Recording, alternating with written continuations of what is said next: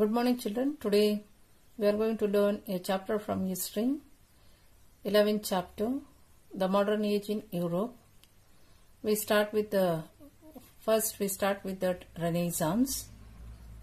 So what is this Renaissance means and its definition first. So the term Renaissance is derived from the Latin word renascere. R-E-N-A-S-C-E-N-R-E. And the literal meaning of the word Renaissance in French is rebirth or revival. So what is that rebirth indicates? The rebirth indicates a revival of interest in the ideals of classical civilizations of Greece and Rome in the later medieval period. In short, we can say that it is the revival or the rebirth of ancient classics of Greek and Romans. Got it children? And uh, this Renaissance, it is a transitional moment in Europe. That means here the end of the medieval period and beginning of modern age in Europe. So we can say that this Renaissance brought a remarkable changes in Europe and marked the beginning of the modern era. That is why the historians call this as a transitional movement. Then the definition. What is the definition for this Renaissance? Renaissance means rebirth or revival of interest in the ideas and ideals which inspired new developments in the field of thought, science, literature and arts. So during the medieval period, you know that Europe was in dark age for a thousand year and there was absolutely no progress in any field. So with the beginning of Renaissance, so the scenario of the European history has changed. So lot of changes in their thought, science, literature as well as in the arts. Okay children, now let us know the various reasons that uh, begins Renaissance in Europe. Now let us know the causes of Renaissance. So there are several causes. According to the syllabus, we are going to learn only the two.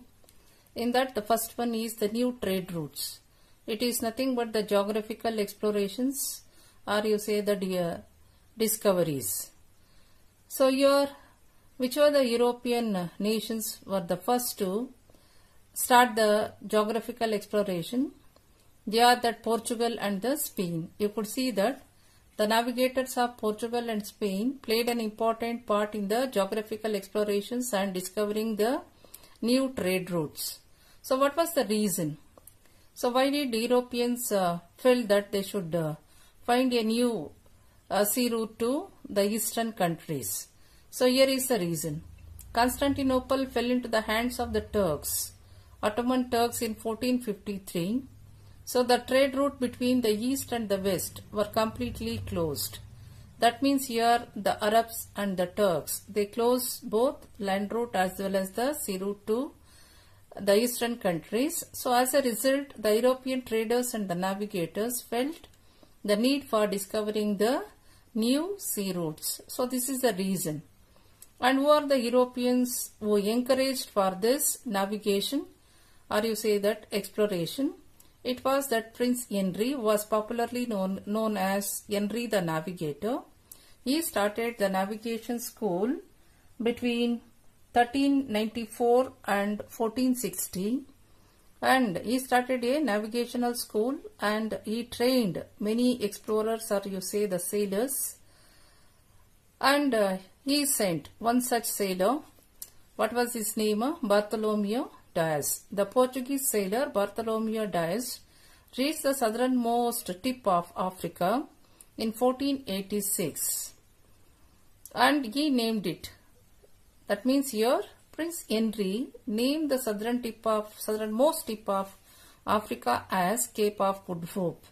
Actually Bartholomew Dias Cape of Storm but Henry he got an uh, what do you say that a good uh, as the beginning. So he kept it as Cape of Good Hope.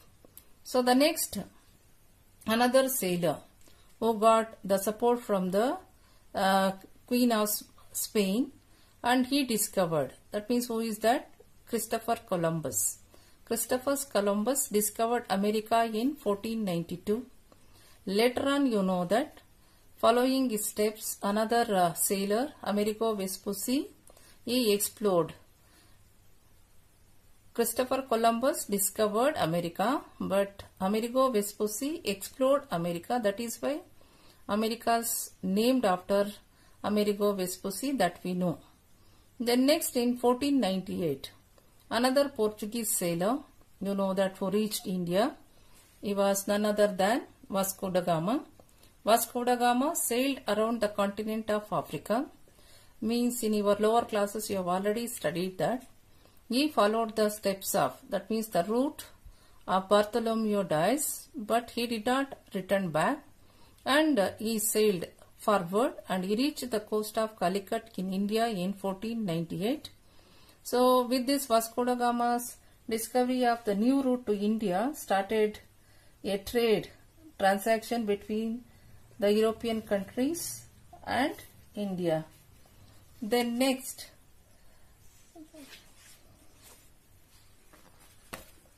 Next that uh, Ferdinand Magellan, you know that he had a voyage, circumnavigation, a vast voyage around the world and reached the vast ocean and he called the vast ocean as the Pacific Ocean. Then due to these discoveries, now we are going to learn the impact. This is the most important part in this course, what was the impact of the geographical discoveries or the new trade routes? So due to these geographical discoveries or the new trade routes, contact between the east and the west began to develop and there was an, effusion of ideas. That means the exchange of ideas. Then secondly, opening of new trade routes not only encouraged trade but also created a spirit of adventure and also broaden the mental horizon of the people. Got it children? These are the two impacts. One is here the trade transaction between the east and the west started. Another exchange of the ideas. Then created a spirit of adventure and broadened the mental horizon. This was the impact of geographical discoveries. Got it? Next we move to the printing press. Now we are learning the invention of the printing press. So what is the role played by the printing press and what's its impact in the spreading of Renaissance movement? So the discovery of the, sorry, invention of the printing press. So the first printing press was set up in Germany by Johannes Gutenberg. The complete name of Gutenberg is Johannes Gutenberg in the middle of 15th century. Later on, the same printing machine was introduced in England by William Caxton. Caxton's complete name was William Caxton.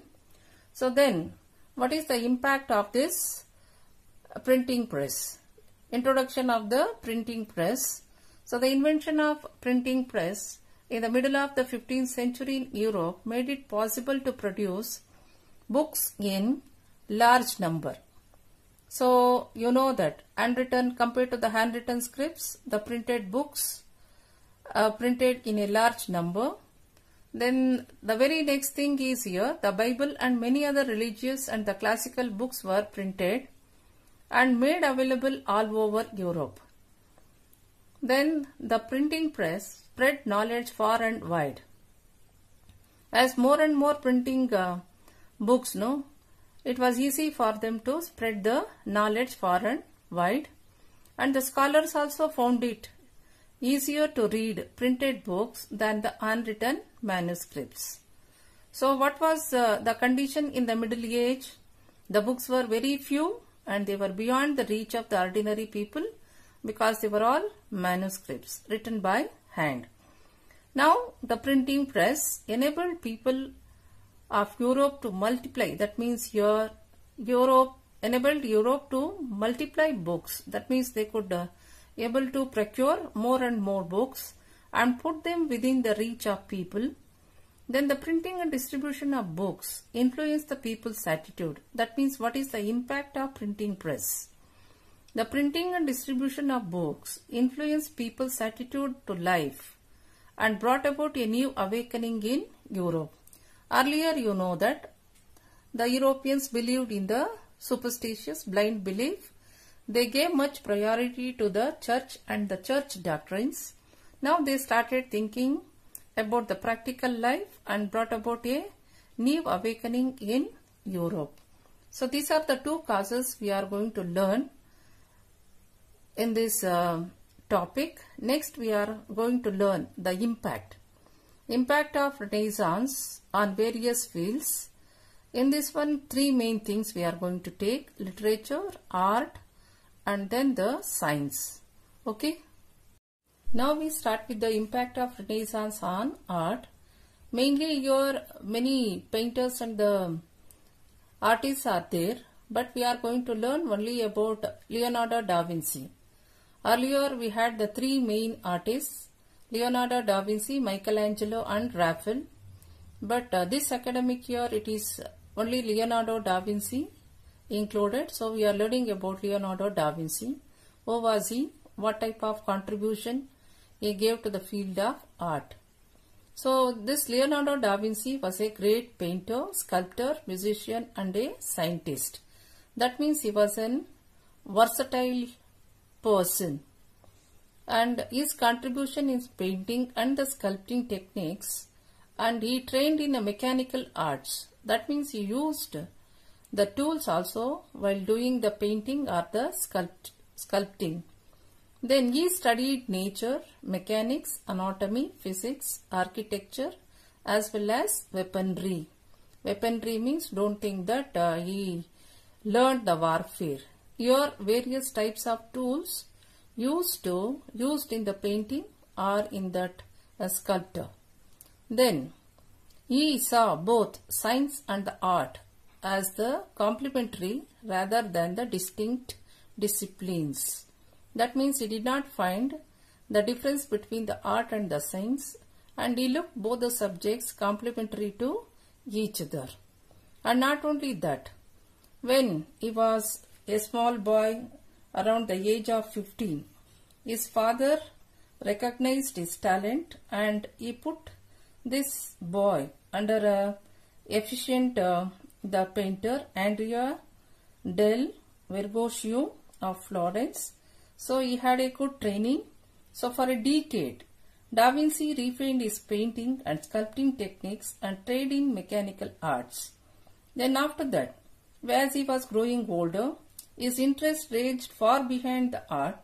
He studied nature, mechanics, anatomy, physics, architecture and weaponry and he saw science and art as complementary rather than the distinct disciplines and thought that the ideas formulated in one dream could and should inform the other.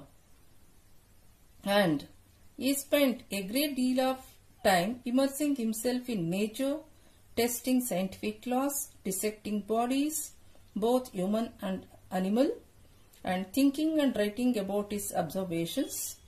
Then, at some point in the early of 1490s, Da Vinci began filling his notebook related to four broad themes. So, they were that painting, architecture, mechanics and human anatomy, creating thousands of pages of neatly drawn illustrations.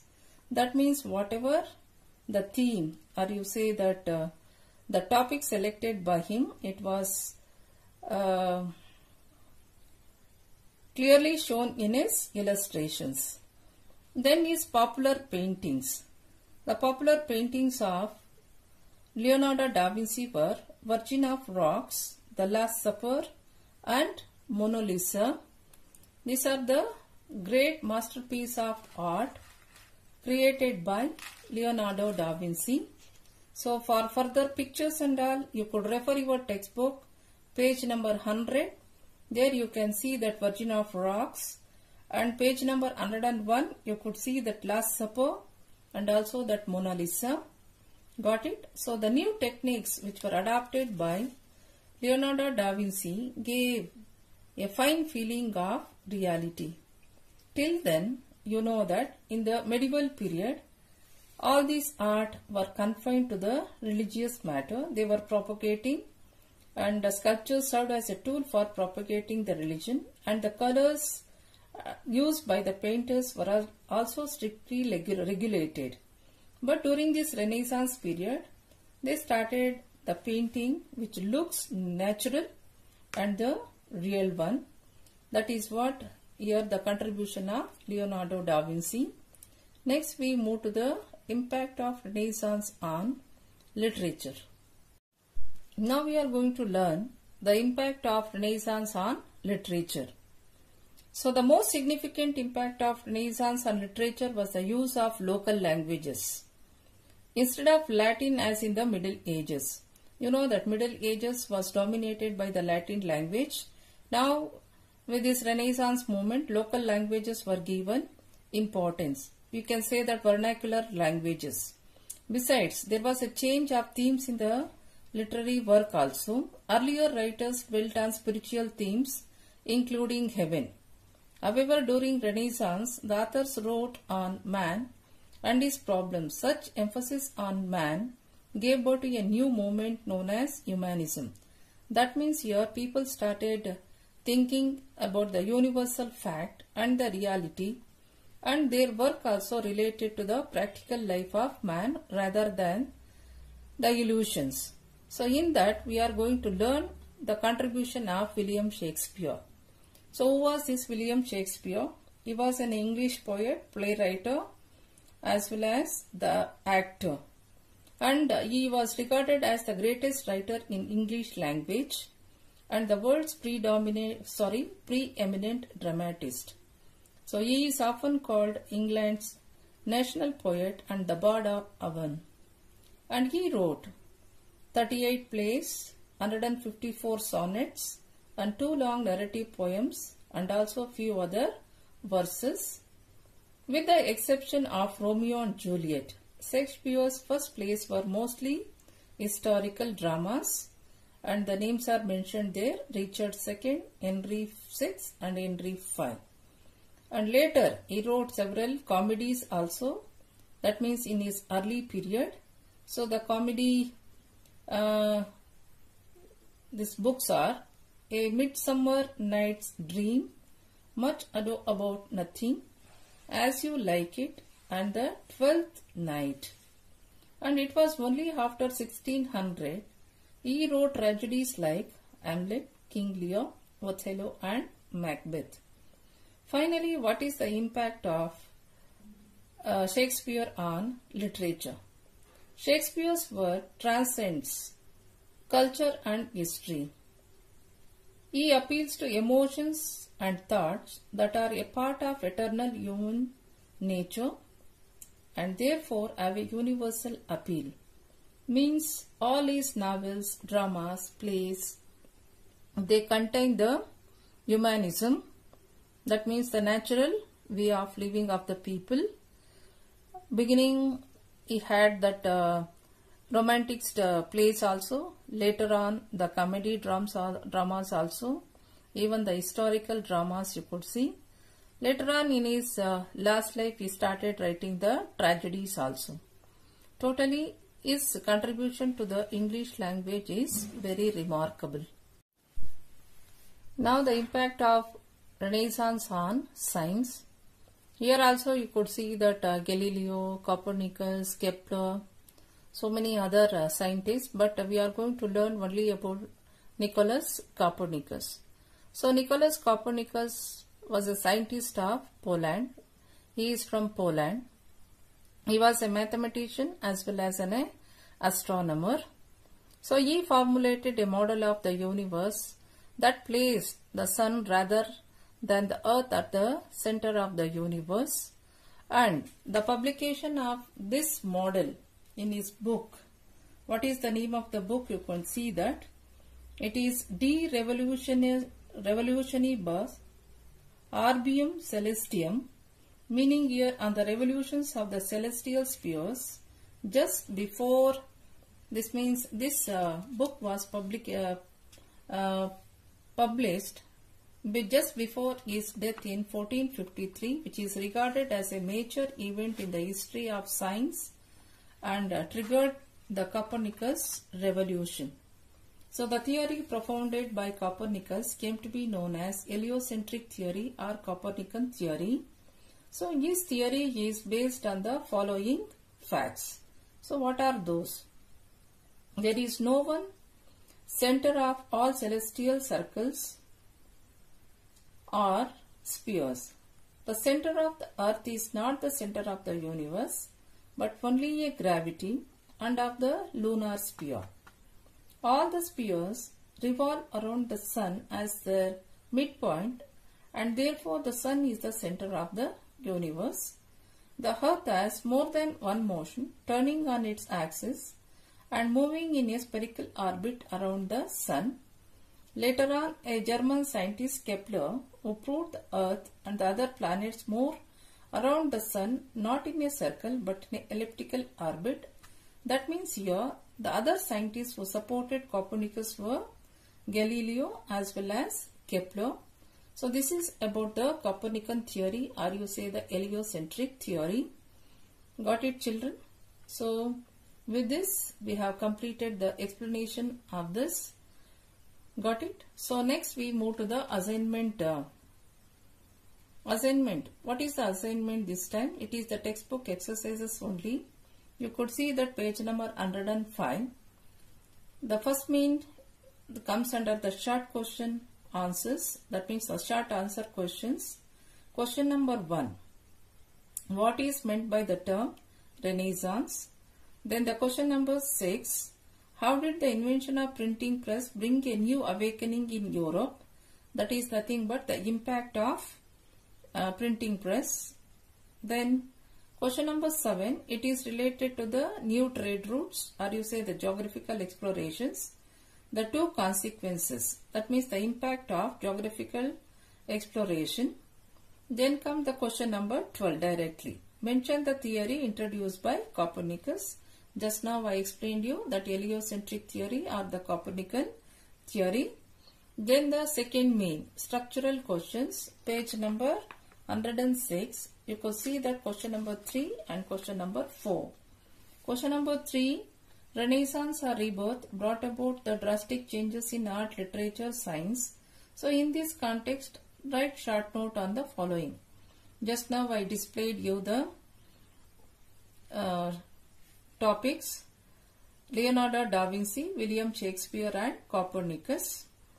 Then picture study. That means here the picture of Last Supper is given. So based on that the three questions are asked. So you have to answer these questions. Okay children. Have a nice day.